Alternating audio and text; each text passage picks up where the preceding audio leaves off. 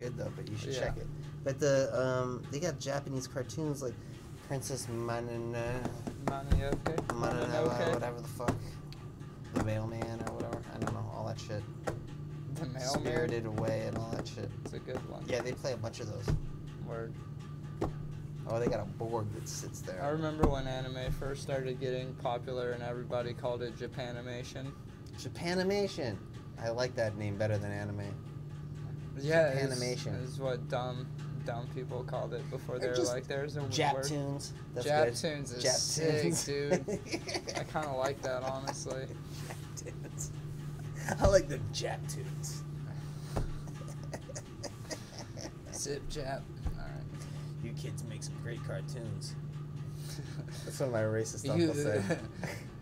you yellow skin sure can't color. yeah, I know. My racist, my racist uncle Frank thinks that all Japanese people can animate. they all know shading. I don't know what it is. You're born with it. That and great How honor. come you don't have giant eyes? That's what it is. It's because they can, you know, it's like it's laser focus. Yeah, dude. Man. Fucking Sunset Station Stop is the is the is the members only jacket of uh, casinos. The place is No. I, that, that's right where um, Sunset meets Boulder. Dude, if I pretty was a millionaire, I would just live in that fucking place. Like they, I think they have rooms there. It's a hotel. I would just live there. Probably. You just go downstairs, get a That's- Subway that's sandwich, go to the movies in your it is. robe.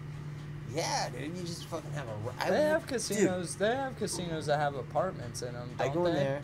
Yeah. Well, they you just well, Or- Howard or- Hughes stayed in a hotel. He got into Vegas. He got into buying casinos Right. because he wanted. He lived in a hotel, and the hotel just the rooms stank.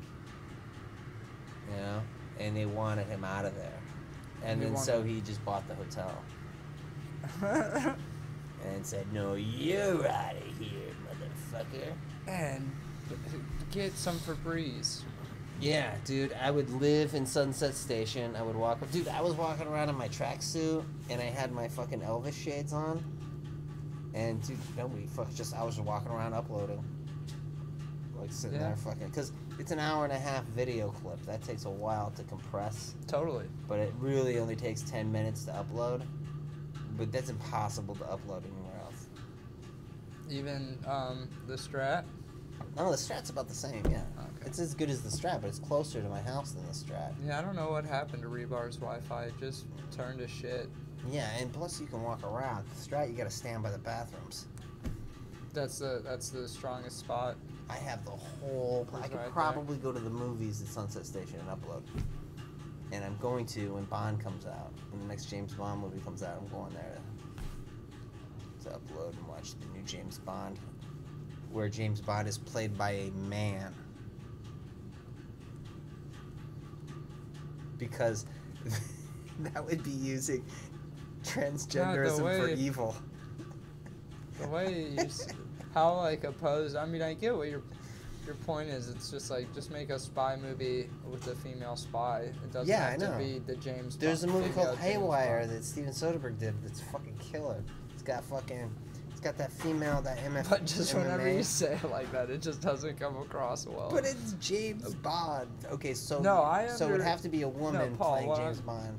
What I'm saying, I completely under agree, uh, or I completely understand, and for the most part agree. But there's just no way to word that to make it not sound like you're being misogynistic. You know? I, would mean? love, I would love to see a transgender James Bond.